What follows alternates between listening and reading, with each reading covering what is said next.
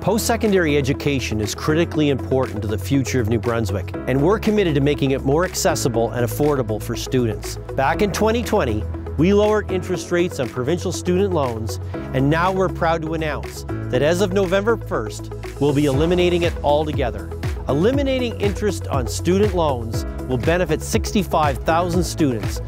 We continue to build on success, and we're proud to pass on these savings to those who wish to get a post-secondary education.